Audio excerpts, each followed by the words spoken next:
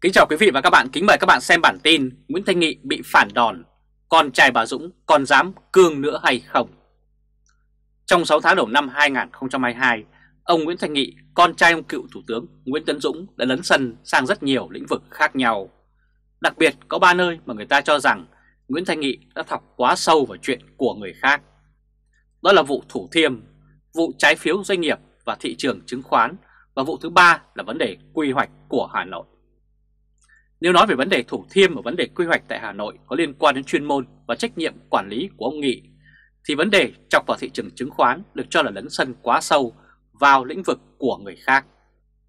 Thị trường chứng khoán nó thuộc lĩnh vực quản lý của Bộ Tài chính chứ không phải thuộc trách nhiệm của Bộ Xây dựng. Cho nên việc ông Nguyễn Thanh Nghị chọc vào sai phạm của Bộ Tài chính được xem là chọc vào ổ kiến lửa. Đây là hình ảnh ông Nguyễn Thành Nghị. Ông Hồ Đức Phước là nhóm Nghệ An hiện có lực chính trị rất mạnh. Hồ Đức Phước không những người có cùng chuyên môn với ông Vương Đình Huệ, mà còn là người cùng quê với ông này. Hiện nay, ông Huệ đang là thế lực mạnh nhất chạy đua vào chiếc ghế Tổng Bí Thư đầy quyền lực trong thời gian tới. Bởi ông Huệ được xem là đứa con cưng của ông Tổng Trọng trong nhiều năm qua. Nói thế để thấy Nguyễn Thanh Nghị chọc vào việc của Hồ Đức Phước là không hề đơn giản một chút nào. Đó là chọc cả vào một lợi ích nhóm to lớn, chứ không phải chỉ một mình ông Hồ Đức Phước.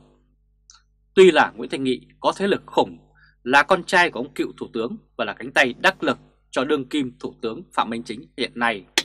Tuy nhiên, về thế lực, chưa chắc ông đương kim Thủ tướng Phạm Minh Chính đã mạnh bằng ông Vương Đình Huệ.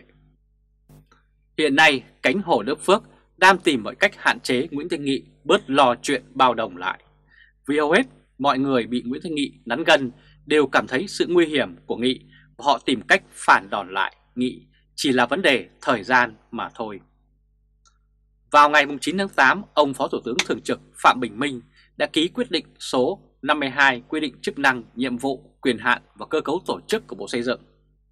Theo đó, Bộ Xây dựng sẽ không còn vụ quản lý doanh nghiệp, cục công tác phía Nam đây là hình ảnh Bộ Xây dựng đã bị phế bỏ hai cơ quan.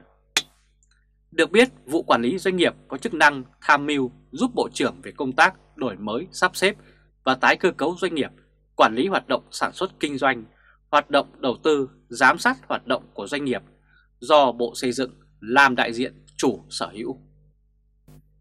Đây được cho là một cơ quan khá quan trọng đối với những doanh nghiệp thuộc quyền quản lý của Bộ Xây dựng. Nếu loại cơ quan này khỏi Bộ Xây dựng Nguyễn Thanh Nghị mất đi một công cụ giám sát, mà khi không giám sát kỹ có khi chính doanh nghiệp lại mang rắc rối cho đơn vị chủ quản là Bộ Xây dựng.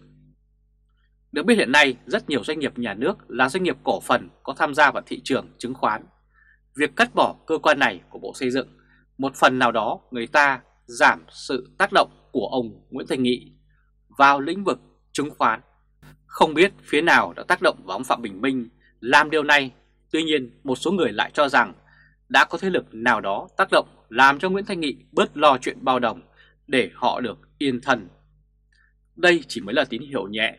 Nếu Nguyễn Thanh Nghị còn lấn tới, rất có thể sẽ có cú phản đòn khác mạnh hơn dành cho Bộ trưởng trẻ Nguyễn Thanh Nghị này. Đây là hình ảnh ông Hồ Đức Phước không ưa ông Nguyễn Thanh Nghị. Có vẻ như Nguyễn Thanh Nghị đã ỉ lại thế lực của ông quá lớn. Nhiều người lại cho rằng Ông Nghị là bộ trưởng có thế lực mạnh nhưng không hẳn là mạnh nhất. Thế lực mạnh nhất đang tập trung vào phe Nghệ An và Hà Tĩnh. Họ vẫn đang rất dè chừng Nguyễn Thanh Nghị. Không biết ông Nghị có tự lượng sức mình hay không, mà muốn leo cao hơn nữa trong thời gian rất ngắn. Nguyễn Thanh Nghị rất muốn làm một bộ trưởng năng nổ vì ông Nghị có thực học.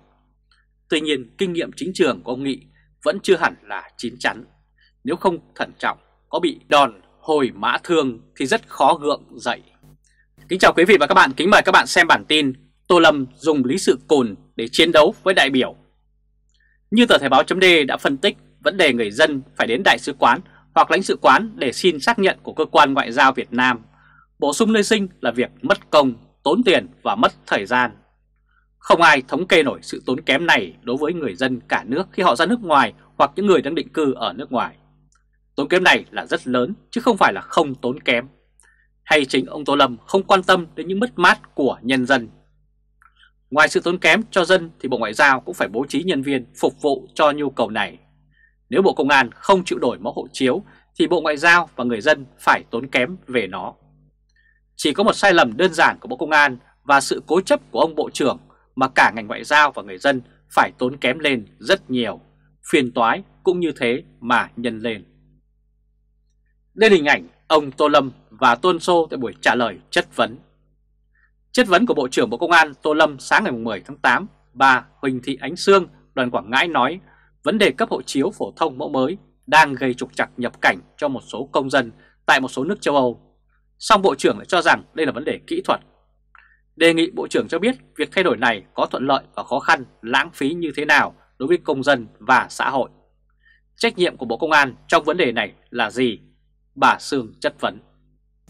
Ông Tô Lâm nói việc cấp hộ chiếu mẫu mới cho cơ bản đáp ứng yêu cầu người dân không có khó khăn gì từ việc nhận, cấp, sử dụng, quản lý.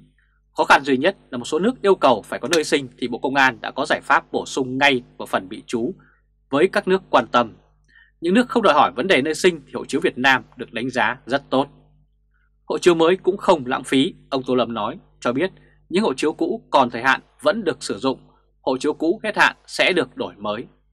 Sắp tới Bộ Công an sẽ áp dụng hộ chiếu điện tử, hộ chiếu gắn chip, không có hộ chiếu nào phải bỏ đi gây lãng phí. Rõ ràng quan điểm của ông Tô Lâm là ý nói không gây lãng phí cho Bộ Công an. Tuy nhiên như vậy thì lãng phí rất lớn cho người dân và Bộ Ngoại giao. Việc trả lời như thế được nhiều nhà quan sát cho là ông Tô Lâm đã dùng lý sự cùn. Với cách trả lời như vậy, không những ông Tô Lâm đã vô trách nhiệm với dân mà còn vô trách nhiệm với bộ máy nhà nước mà ông là một thành phần ở trong đó, ăn lương của nhân dân để phục vụ nhân dân, nhưng cuối cùng, ông lại gây ra sự khó khăn chỉ trệ cho nhân dân khi họ ra nước ngoài. Đây là hình ảnh lý sự cùn của ông Tô Lâm. Sự nhượng bộ của ông Tô Lâm khi nhận trách nhiệm sai sót về tấm hộ chiếu là điều tưởng giá trị, nhưng rồi cuối cùng, khi mà trả lời chất vấn của các đại biểu, ông đã lật kèo. Nếu nhận trách nhiệm mà không sửa, vẫn cố bảo thủ, thì lời nhận trách nhiệm đó chỉ là lời nói vô nghĩa. Như tờ Thời báo chấm đã cho biết, ông Tô Lâm không muốn bị ai ép buộc. Hiện nay, người có thể ép buộc được ông là ông Tổng Bí Thư. Ngoài ông Tổng, Tô Lâm xem nhẹ tất cả những lời nói của các nhân vật còn lại, dù cho đó là ủy viên Bộ Chính trị khác. Việc Bộ Công an cho đổi lại hộ chiếu có nơi sinh là nhu cầu cần thiết để tạo thuận lợi cho người dân, và sự cứng đầu của ông Tô Lâm làm hành động vô trách nhiệm với nhân dân ông Tổng Bí Thư cần có biện pháp cứng rắn về mặt đảng để buộc ông Tô Lâm phải có trách nhiệm với nhân dân. Có như thế thì những lời giao giảng hàng ngày của ông Phú Trọng là đảng phục vụ nhân dân mới có giá trị. Là Bộ trưởng Bộ Công an, ông Tô Lâm vẫn phải coi trọng lợi ích của người dân. Người có khả năng buộc được ông Tô Lâm xem trọng quyền lợi của người dân thì người đó không ai khác chính là ông Nguyễn Phú Trọng, Tổng Bí thư Đảng Cộng sản Việt Nam không biết ông Trọng sẽ can thiệp như thế nào trong trường hợp này để người dân đỡ bị gây khó khăn khi đi ra nước ngoài. Đây là hình ảnh người dân cần ông Nguyễn Phú Trọng chẩn chấn chỉnh lại trường hợp của ông Tô Lâm. Đối với Tô Lâm, ông chỉ biết bảo vệ đảng và bảo vệ chủ của ông ta, ngoài ra người dân trong mắt ông gần như không có giá trị gì cả. Người dân vất vả, tốn tiền, tốn thời gian vì một cái sai của ông, nhưng ông lại nói ngang để không sửa. Một ông bộ trưởng coi thường dân như thế thì rất nguy hiểm nguy hiểm cho xã hội.